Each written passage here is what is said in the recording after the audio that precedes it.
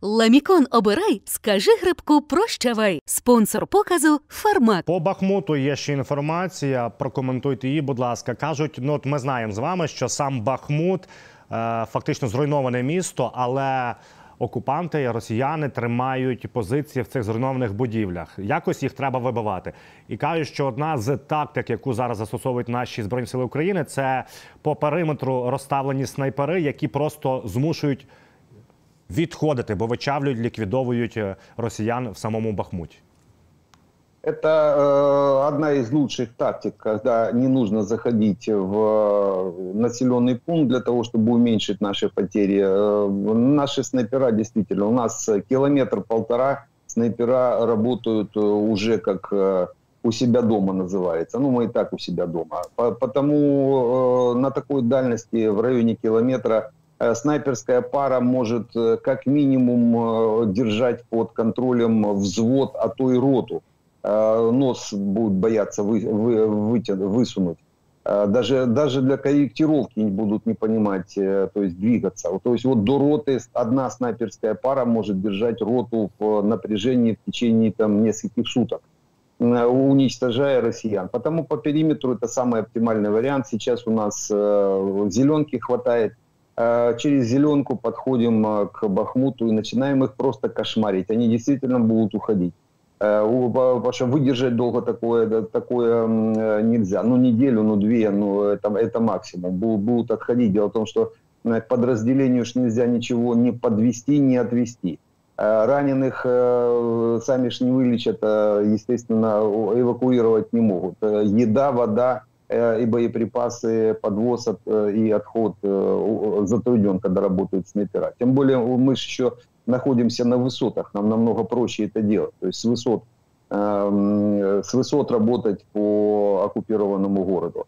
Э, э, решить вопрос, конечно, не снайпера, а решать вопрос артиллерия, когда уже сейчас подчистим. Э, Кстати, чем еще и снайпера занимаются, укрепляют фланги, то есть зачищают фланги э, этих высот господствующих, чтобы потом можно было на них подтянуть артиллерию и уже начать э, обрабатывать российские войска, которые в Бахмуте засели именно с помощью артиллерии. Тоже в ближайшее время, я думаю, за неделю этот вопрос будет решен и начнет работать уже арта. Э, снайпер- э, снайперов, снайперов заменят э, снайпера-артиллеристы, а 155-я натовская, это, можно сказать, снайперская работа. Пане Романе, в нас є АТЕШ. Ми не раз згадуємо про наш партизанський рух. Зафіксував рух колони техніки. Ось якщо ми подивимося Ростов, е, і є е, на кордоні з Україною, тимчасово окупованими територіями, Кам'янськ-Шахтинський. І ось фотографія каже, що це 12 одиниць техніки Т-90М прорив. Куди, е, на вашу думку, можна їх перекинути? Наскільки це хороший танк, і чи це велика кількість 12 одиниць техніки подібної? А, Ну нет, это рота танковая, э, не больше, не это немного. Э, Перебросят их э, на, на, на передок однозначно. Вопрос куда? Скорее всего на Бахмут. Это направление со стороны со стороны на, на Краснодон, на Луганск, и скорее всего все это потом пойдет либо на Кременную, либо на Бахмут. Но скорее всего даже, я бы сказал, наверное, на Кременную, потому что там именно сейчас создаются такие ударные кулаки, они пытаются нас э, атаковать в сторону э, Торского, Торский выступ, мы тоже неоднократно с вами об этом говорили, направление на, Лима, на, на Лиман. Э, Но это направление с юга подрезается нашими войсками. С юга, с Белогоровки мы постоянно, как только идет э, любая атака, которая начинается в сторону Торского, в сторону Лимана, она тут же, мы тут же контратакуем э, во фланг, левый фланг и выбиваем россиян. Они опять откатываются на стартовые рубежи. То есть здесь э, такой баланс э, ударов уже сохраняется, причем мы не используем стратегические резервы, работаем там оперативными резервами, и там их достаточно для того, чтобы в, конце концов уничтожать россиян. Переброска танков займет где-то ну, пару дней.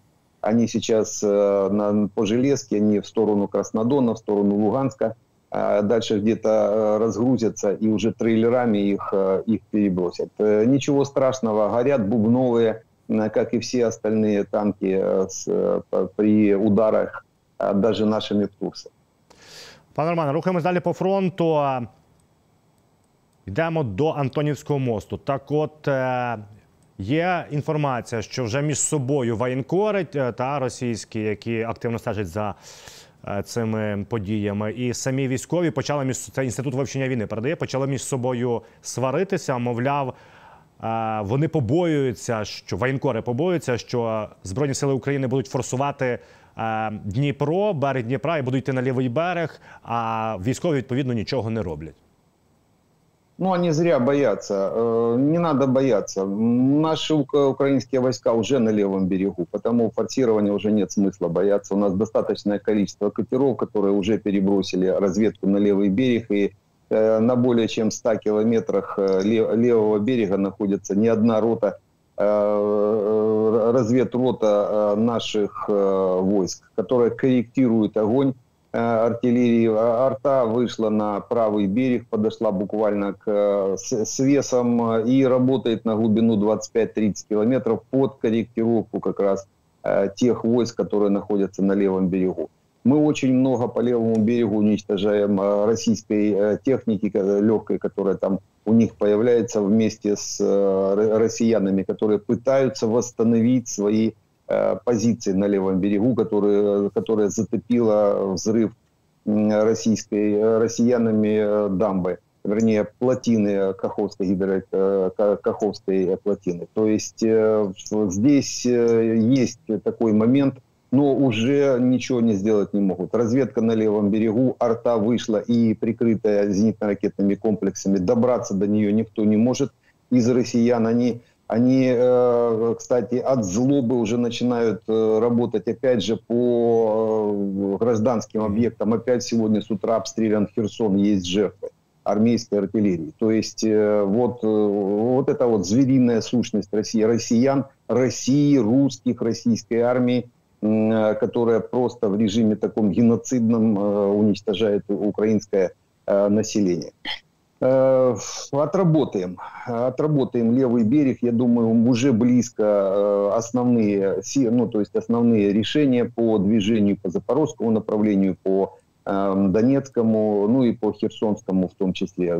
Пара недель э, им еще потрястись, а потом уже будет все понятно. Потом они трястись уже будут где-то в Крыму, а может быть на Крымском мосту.